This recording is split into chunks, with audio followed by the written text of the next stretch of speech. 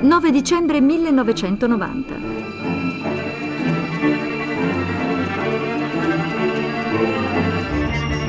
Nelle prime elezioni presidenziali dirette della storia del paese, il capo del movimento Solidarnosc, Lech Wałęsa conquista il 40% dei voti e diviene presidente della Polonia.